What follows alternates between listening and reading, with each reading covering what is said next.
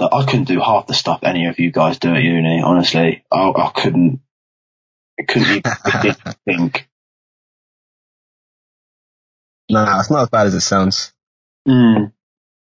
I mean, I guess if you get used to it, you like it's it's different. But obviously, me working, I was learning on the job, so it's like actually doing things hands on, like getting stuck into it and everything. Whereas, like I'd, I'd have help along the way. Whereas I think if I went to uni, it's it's literally you're by yourself. You have to do all your educate, like all your learning by yourself. And to me, that's just that sounds like hell. yeah, it is. I think the worst thing about, well, the best and the worst thing, I guess, depending on who you are, but the whole independent study aspect, it's. Oh, I couldn't do that. Couldn't do that at all. Because I think they say for every, for every hour you spend in lectures, it's got to be two hours on your own. And that's just ridiculous for some people. Like if you don't have the organization or the, I'm not even that, like it's just difficult in general to go out and keep learning stuff without any help. Like, I don't know how they expect us to do it. Well, I remember I was listening to one of your other podcasts, and I can't remember who it was, but she was going on about the whole triangle dynamic of like um, balancing your social life with sleep and education. And mm. like, I remember seeing it, t- like, I remember seeing that on like, um, Facebook like ages ago. And I never understood that because obviously I never been to uni.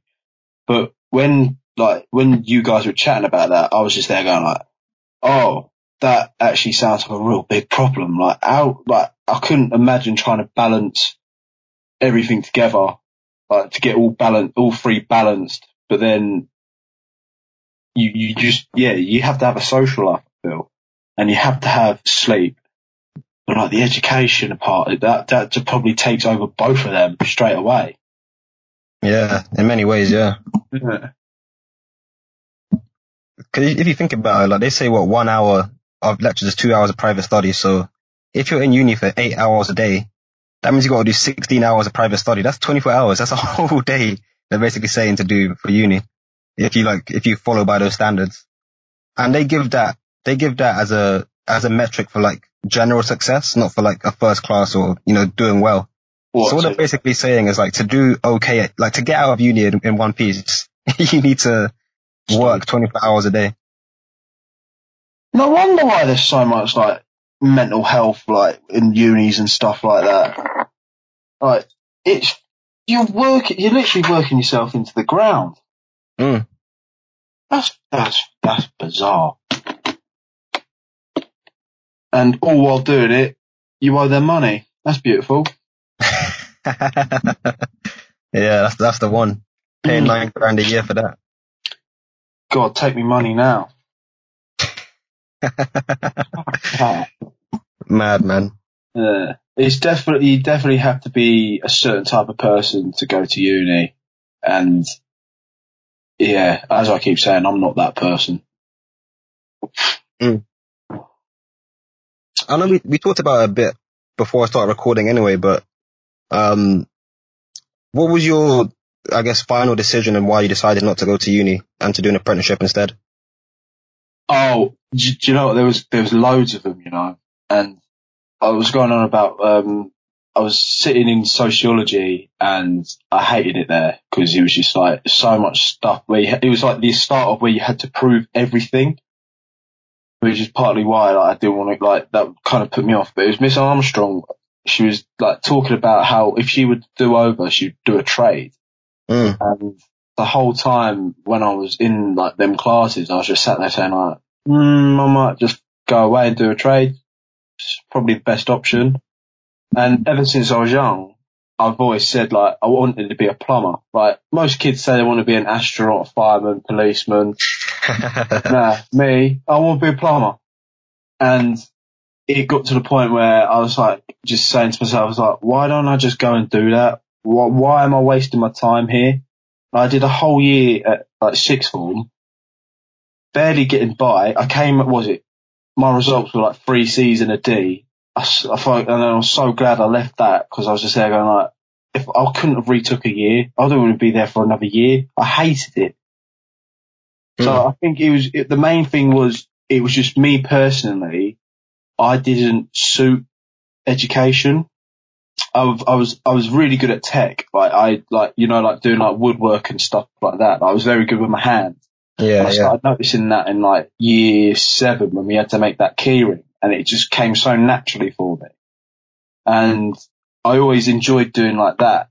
And then it kind of just stemmed from, it, it was, it was a long time coming, but you know, when you- you're just so focused on trying to get your grade, it all kind of like just, you, it all blanks out a bit. I think that's the only way I can describe it. So I was just, as I was saying before, I was like just going through the motions and I think I just got fed up. And I thought, do you know what? This isn't for me. And my mum and my dad were very supportive because they were saying like, we've kind of known all along, like this, this, it's not for everyone. And I, I want to make it clear, like anyone, well, if anyone listens, like, and they're contemplating about going to uni, really like sit down and think if it's the right option for you because it's a, it's a tough decision to make and it is a, it's a, if you choose to go to uni and you're not enjoying it, you, you're just wasting like your life quite literally. Yeah. And it's, it's quite, it's a scary choice as well because you obviously at the time you don't know if it's going to pay off or not. But luckily for me, me leaving and doing this uh, apprenticeship, it was the best decision for my life, like in my life, sorry. And I'll, I'll, if I go back and do it, I would have just left at the end of year 11. I would have just started it early and then I would have been better off now. But obviously I'm quite glad I went to sixth form because it just firmed my decision to do the apprenticeship later on. Mm-hmm. And I have like no like regrets at all leaving. That's crazy. Mm. I really do respect um apprentices. I feel like you need to be a lot more, I guess, mature in a sense. Because even me, like I was looking at a lot of engineering options for apprenticeships, and I'm like, you know what? People always say to do uni, so I'm just gonna assume that they're right and just follow their path. Mm. Like it takes a, it takes a lot to look at your teachers or your parents and be like, you know what, what you're saying is dumb, and then kind of create your own path. So I've got a lot of respect for guys like you for for taking that step, and then of course for it working out. Yeah, thanks. I mean, like, like, uh, yeah, partly what you're saying. Yeah, I agree. But I think parents kind of need to actually talk to their kids about that. Like, I bet there's so many people which, like, their parents pressure them to do stuff, and it's not what they want to do. Mm. And you're just, if you're just there to please people, that's not a life you really want to be like, kind of go, going down with. And Yeah. it's it's true what you say. Like when um when I did choose to do it, it was like a very like big decision, and I had the support of everything by the teachers because I'm almost certain schools make money off us going to uni, as in like when they get into uni. Because I don't know why they would force it upon every student.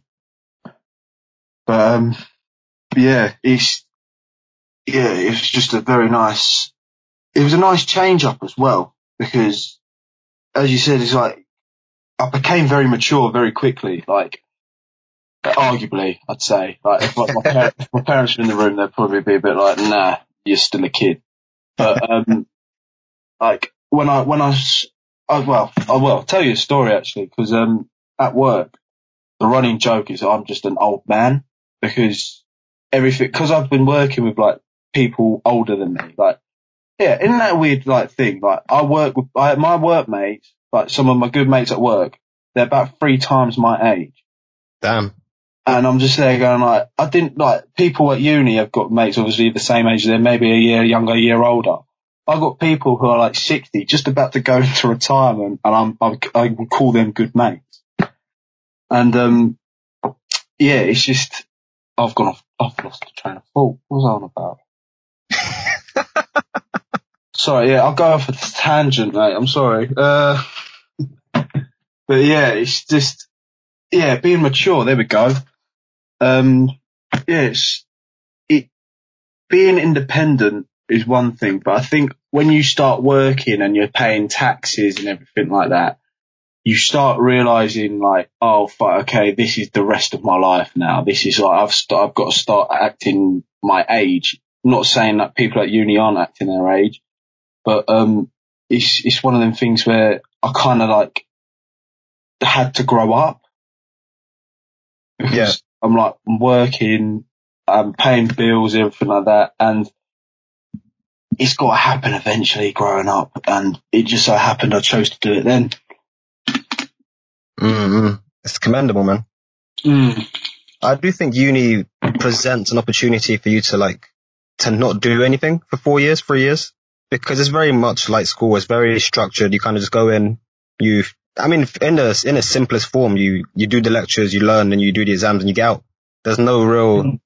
maturity aspect. I mean, some people live on their own. They have to think about rent and bills and stuff, but for the most part, it's just school, but with a bit more added responsibilities. Whereas work, I can imagine, it's a completely different bubble. It's like a whole new set of Mm. uh, experiences, skills, and obviously, like you mentioned, friends that are 60 years old. Like that's it's nuts.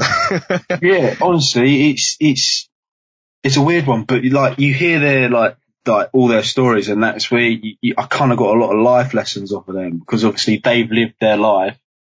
They'll tell you things what you should and shouldn't do. Like I've got advice about buying houses, like in putting into investments and stuff, and like I'm just going like, oh, this is all quite like useful life lessons. This mm, because um it's funny because people at work obviously like they're paying for their kids to go to uni and one this one guy Mark he cracks me up because he's very literal in what he says. And he just says I'm paying my kid to go to uni and I know for a fact all they're doing is getting pissed getting high and then not even doing their work until the last minute. While I'm working day in day out to pay for that and I'm just there going like, they best get their fucking grades. yeah.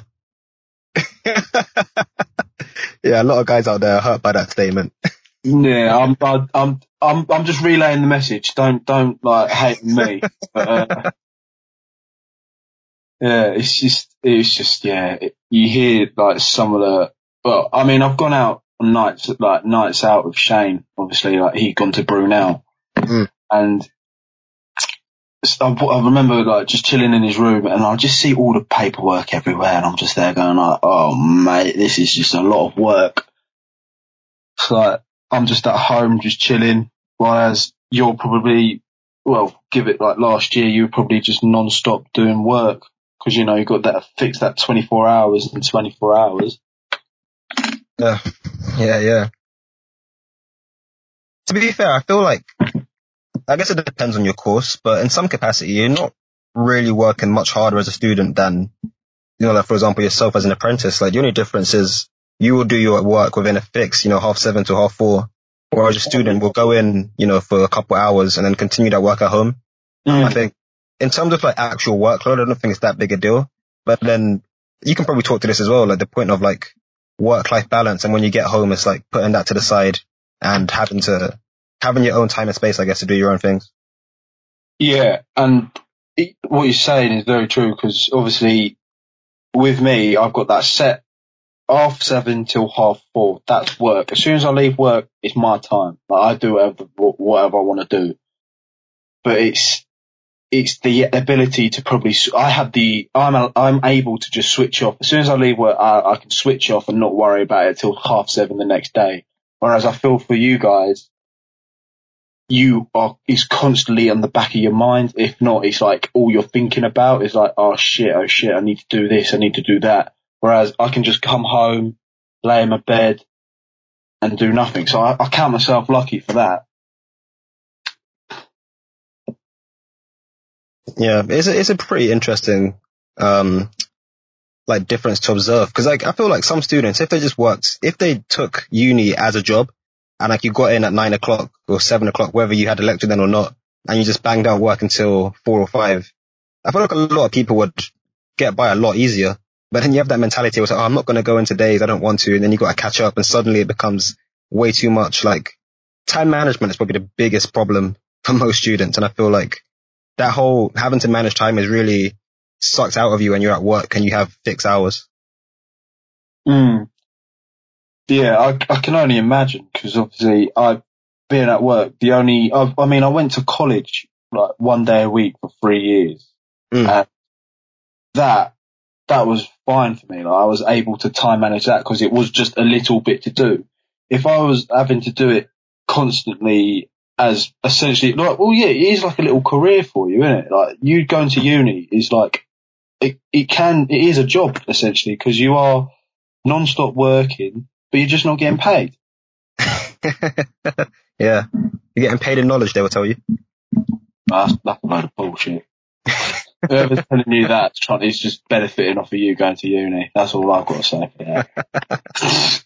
That's a big fact, man.